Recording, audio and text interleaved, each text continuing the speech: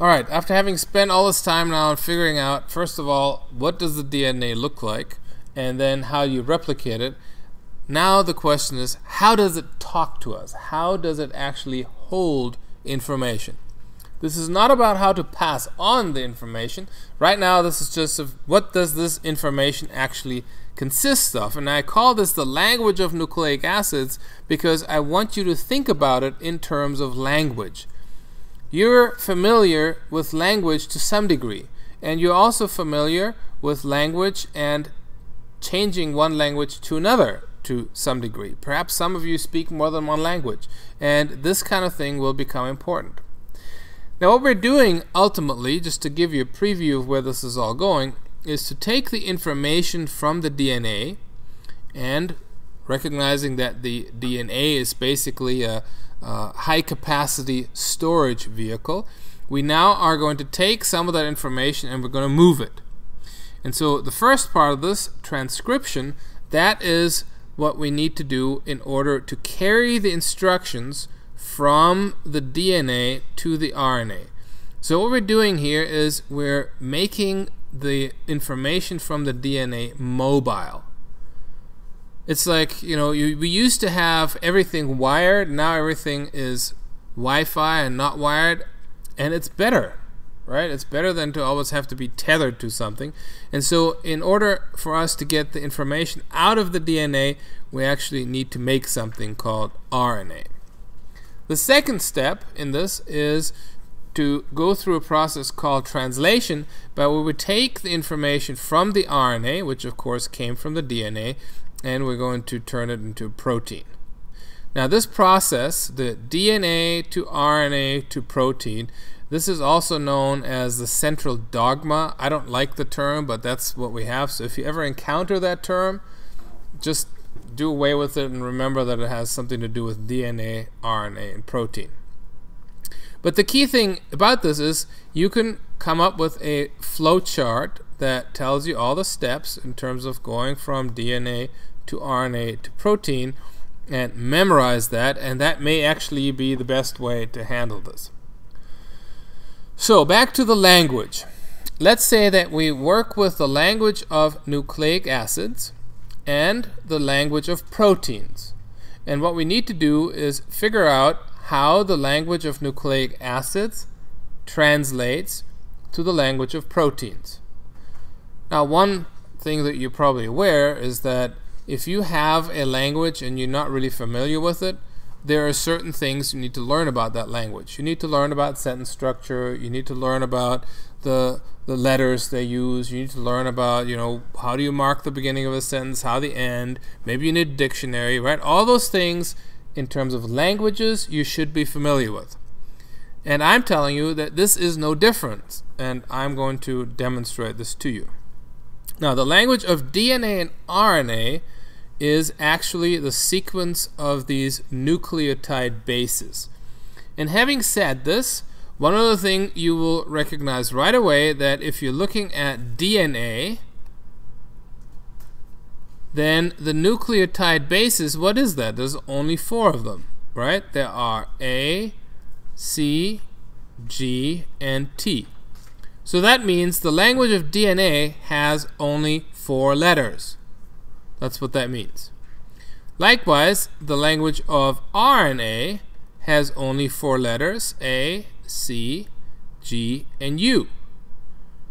So clearly, there's a certain amount of overlap here, right? The ACG, those are the same, so there's just one substitution in terms of letter. But when you have things that are so similar, perhaps one is just kind of a dialect of the other in terms of language. So, a very limited number of letters. We have 26 in our alphabet. And then in some cases you have places where there's umlauts and, and where where there's, you know, squiggles and where there's all kinds of things. So we have a much more complicated language than the language of DNA and RNA. The language of proteins is the sequence of amino acids and just a reminder, we have 20 of these naturally occurring amino acids. So the language of proteins is composed of exactly 20 words. So this is pretty interesting because this doesn't sound like it's a very difficult kind of language. I mean, if it's only 20 words, there isn't a lot you can do with it unless you make your sentences very long. But still, the point is there's a limit to the complexity of this. Now let's start with a piece of a DNA molecule on a chromosome perhaps somewhere. You have gene number 3. And as part of gene number 3, you identify this sequence here. So this blue part, that is what comes from gene number 3. And when you take gene number 3 and you turn it into the language of RNA, that is called transcription. And in transcription, you match up the sequence from the strand of DNA with the complementary RNA. And so here's where this goes. Now, normally you have A matches up with T and G matches up with C, except when it's RNA, then A matches up with U, and T matches up with A, and G matches up with C, and vice versa. So these are the things that you have to remember. So the A, therefore, matches up with a U, and there it is and that happens several times. And then the C matches up with the G, there, there it is. And the G matches up with the C, there that is. And so on and so forth. So transcription is pretty straightforward. All you have to do is match up the correct nucleotide bases, and that's it.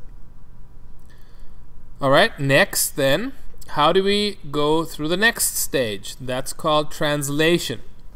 Now, translation is a little bit more labor intensive because what you have to do with most translations, is not only do you have to figure out what the word means, but you also have to figure out what the sentence means. Sometimes sentence structure can be different between two languages. So, first of all, what we need to do is identify the words. And it turns out that words in the language of nucleic acids are composed of three letters. Huh, this doesn't sound so hard now. So we have four letters that we can use and each word composed of three letters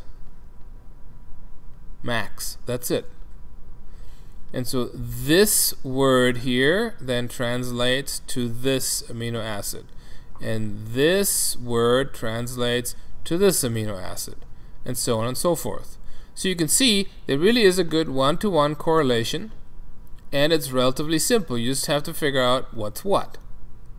Now the what's what is something that we normally have a dictionary for. So let's lead you into that. When the DNA is needed, an RNA is produced, and this is the, the mobile version as I mentioned. And this RNA molecule then can be turned into an amino acid sequence. And this amino acid sequence is determined by a set of triplets, which are the words in the language of nucleic acids. We also call them a codon. And these codons code, hence the name codon, for one of the 20 naturally occurred, occurring amino acids. And in order for us to figure out which is which, we have something called the genetic code. And the genetic code, what that really is, it's our dictionary. Now, I'm not sure if you've ever used a dictionary, but if you see the the dictionaries that you see in the libraries, they're pretty large, right? They're they're probably thousand pages or something like that, uh, hundreds of thousands of entries sometimes, and so our dictionary is mercifully small. This is it. This is the dictionary. And the reason why this is an interesting dictionary is because, let's think about this, we have four letters and we have three word letters. So the question is, how many three word letters can you make from four letters? And it turns out that there are exactly 64. So there are 64 of these kinds of things in here. 64, no more, no less. So the number of, I'm sorry, the, yes, the number of words in the language of nucleic acids is 64. 64 words in the language of nucleic acid and we are going to use these 64 words to describe 20 words in the number in the language of proteins in the amino acids and that's it so some of you may say well how can this be 64 words in one language and only 20 words in another well I'll tell you what in some languages you use more than one word for something that in our language is only one word. If you were to describe the white fluffy stuff that falls down from the sky and it assembles on the ground, what would you call that? Hmm? Snow, right? Snow, not feathers, snow. I was mentioning, I, I meant snow. Now, snow comes in various kinds. So you have the fluffy stuff, those are the snowflakes. And sometimes they're really thick, and when they settle down, the snow is really wet, and you can make nice snowballs with it. And sometimes they're really fine, and you they don't stick together. And then you have the snow, and it melts a little bit, and it freezes overnight, so it's kind of hard on the surface. And then there is the snow when it kind of becomes slushy. So there's all kinds of different types of snow, and we tend to use adjectives if we wanted to describe it. So powder snow, icy snow, right? Falling snow. We would we would tend to use those kind of words. But if you actually look at the language of the Inuit, that's the inhabitants of far northern Canada, then you'd realize that they have different words for each of those conditions. So the snow as it falls has a different word than the snow when it accumulates or the snow when it's frozen over has a different name than the snow when it falls, and so on. And so it is possible to say, well, there's many words in the one language, but in this other language we only use a few. And so when we look up a word in the language of nucleic acids, what we're going to do is we're going to look up each of these bases. So let's just start with one. We're going to go A, G, a. That is the word in the language of nucleic acids, and we're trying to figure out what it means in the language of amino acids. So the first base is A. That's this is the first base here, the first letter, and so we have to go to A. So that brings us here. So everything we are looking for is going to be in this row right here. Next, we're going to G. G is what gives us the column. So we're going to look here. G is the column. So we need the A, we need the G. Well, that puts us right in there. And then the last one is the A. So we have to find AGA. And there it is. So this word, AGA, in the language of nucleic acids, means arginine in the language of amino acids. So this is what you do. If you want to read a book in the language of nucleotides, then you would divide the book up into three letter words and you would match it up to the correct amino acids. And of course, that book, that's called a gene, and you end up turning it into a protein. Now, there are a couple more things you need to know about this. First of all, green means go. Every single protein and every single gene sequence starts with AUG. That is our start codon, and it codes for something called methionine.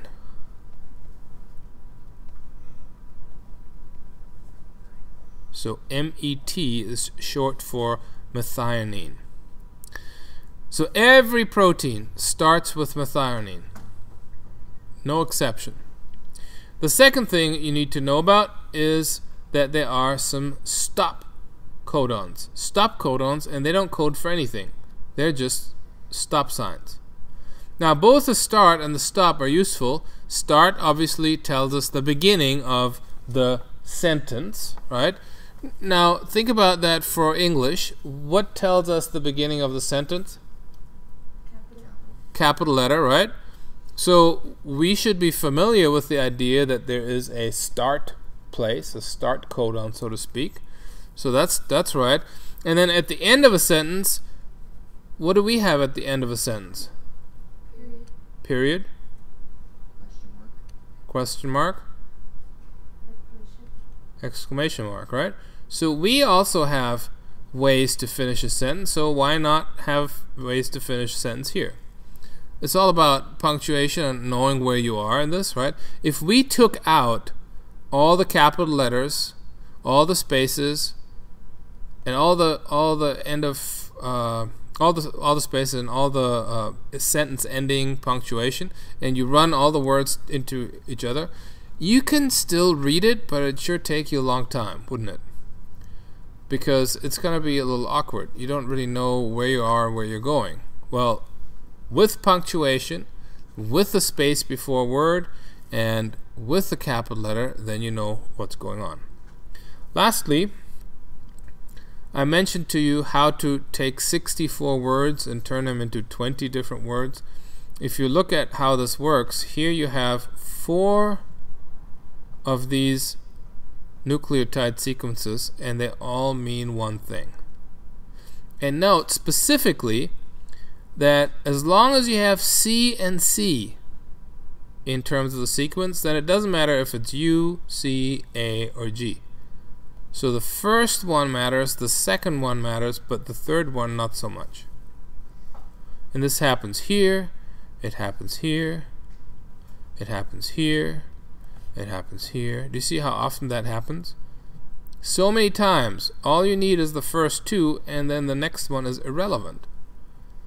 So, hey, that means we can deal with some of these errors as they sneak in. GC blank, it'll all work. GG blank, it'll all work. Lo and behold, CG. So this code is actually really forgiving.